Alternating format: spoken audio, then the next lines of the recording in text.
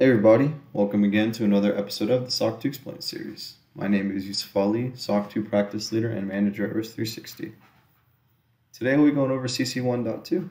CC 1.2 is supporting of the control environment, which is rolled into CC 1.1 through 1.5 of the common criteria of a SOC 2 report.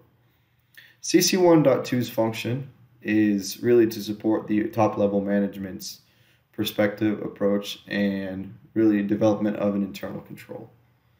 The actual COSO principle itself here is the criterion, and it reads like this The Board of Directors demonstrates independence from management and exercises oversight of the development and performance of in- internal control.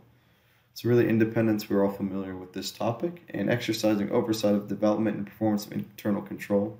So, really, this is developing and designing ownership of the set of controls that are used to support and attest to the SOC 2 itself. The points of focus that are used to support this are, are as follows establishing oversight responsibilities, applies relevant expertise, operates independently, and supplements board's expertise.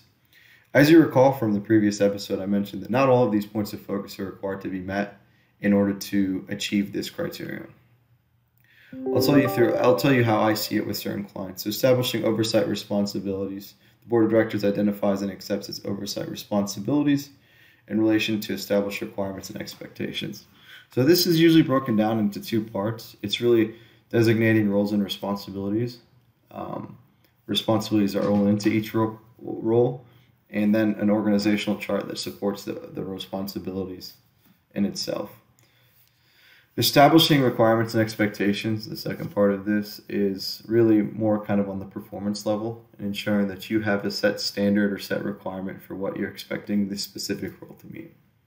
Applies relevant expertise. So this also kind of rolls into the same idea here. Board of Directors defines, maintains, and evaluates skills and expertise.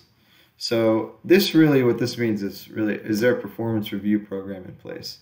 That you're doing. And this typically done from our best practices is on at least an annual basis. So the way I look at it, documentation wise for SOC 2, this is either documentate this is excuse me, this is done through a ticketing system. This is even done through a, a periodic annual review form that's mainly established and maintained by HR. Or this can be something rolled into one of your HRIS systems. It's a little more complex, but it's automated send it over to your supervisor when it's required.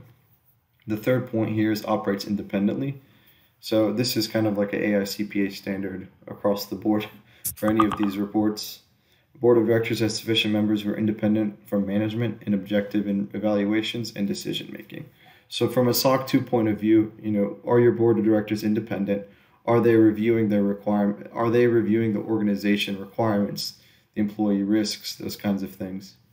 The last point here is supplements board expertise. So the board of the board of directors supplements its expertise relevant to security, availability, process integrity, confidentiality, and privacy, the trust service criteria as needed through the use of a subcommittee or consultants. Now this doesn't always apply. This just depends on really what the organization is built and how it's configured.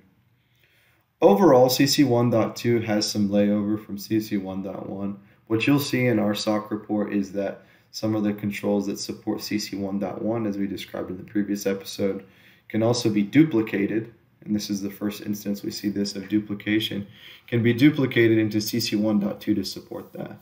As you'll see as we progress through these this video series, you'll see that there are more and more areas where maybe CC 1.1, 1.2 controls will roll into CC 1.4, or excuse me, CC 4.1 or CC 5.